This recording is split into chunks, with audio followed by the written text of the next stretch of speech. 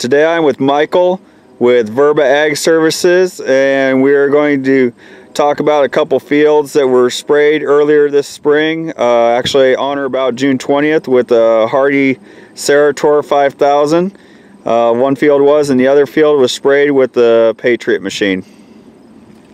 So this field we have here was sprayed with a uh, HARDI SARITOR 5000 with blue mini drift nozzles. As you can see we got a really good kill on this field. Uh, compared to this one, which was sprayed with a Case Patriot with aim command, you can see it's a lot more weedy than the field sprayed with the HARDI. These were sprayed within a couple of days of each other, uh, using about the same chemicals and the same rate. Again, that's a Patriot with aim command. On this side, HARDI SARITOR with blue ISO mini drift tips. Very good weed control. On that side, this side, not so much. Alright, I'm Brian with uh, HARDI North America Sprayers. Uh, stand here with Landon. He's an agronomist for Chad, gentleman we spoke with this morning. Uh, we did a demo with Chad with the HARDI SARITOR 5000 uh, on or about June 20th in a soybean field. Uh, we saw those results earlier this morning.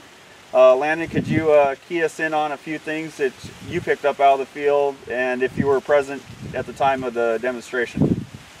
Well, I wasn't there when he sprayed it, but weed control our soybeans has been a pretty tough thing this year.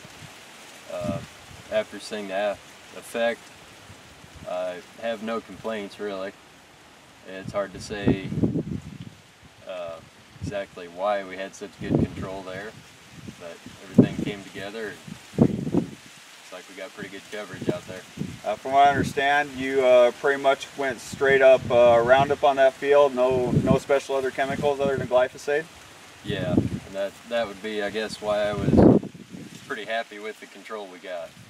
Yeah, we're talking about a weed that they've had very hard control of uh, controlling this summer down here. We're actually in south central Nebraska, actually only about 10 miles south of the uh, Husker Harvest Days site that everybody's very familiar with. And uh, as we spoke with Chad earlier today, had a very, very happy uh, kill on a soybean field, again where the uh, Patriot sprayer was straight across the driveway from them with uh, with not quite the same results and and we were very very happy with what we we had as a result. And uh, obviously the chemical choices as well from Landon here their agronomists so again Brian with HARDI Sprayers and thank you. Have a good day